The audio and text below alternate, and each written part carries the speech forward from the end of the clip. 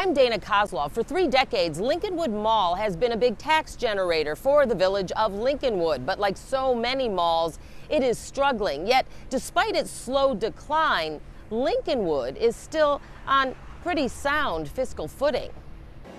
That struggle is clear inside the mall. Crowds are sparse and about a quarter of its space is vacant. Adding to that, mall owners are considering filing for bankruptcy.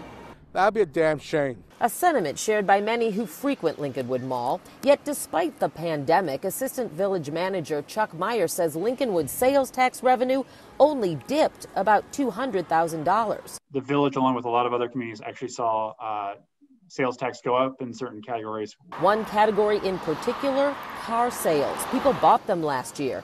But Meyer says it doesn't mean Lincolnwood isn't in the hole like so many municipalities. It is, but only by about $1.5 million, a sliver of its overall budget.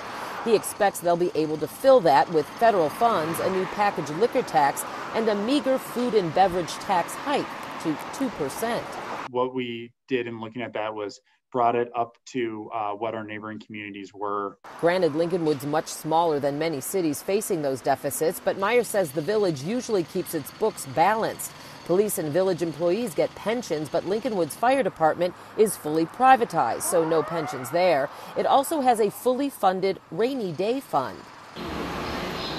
Still, Meyer stresses losing the mall would be a big blow. I think time will tell on that. Even though the mall's future is in flux right now, Meyer says they still very much want it to be an integral part of the community.